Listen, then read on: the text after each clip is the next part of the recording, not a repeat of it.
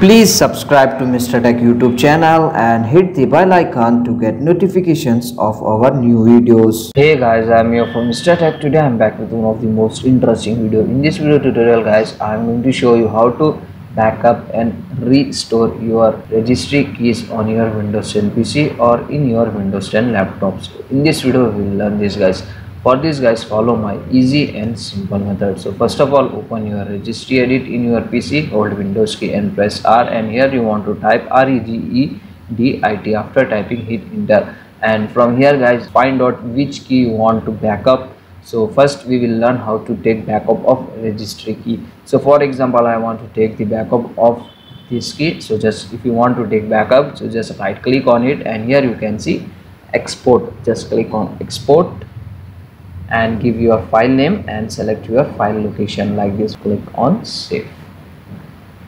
Now guys your uh, registry key was backup on your windows 10 pc so after that guys in future you want to restore the this key on to your registry edit. So open your file location where you have saved your registry key. And here guys you can see my registry key backup is here. So now i am going to show you how to restore this key onto your registry edit. So just right click on your backup file like this and here you can see merge. Just click on merge and here guys you can see this type of message and once again you want to click on s.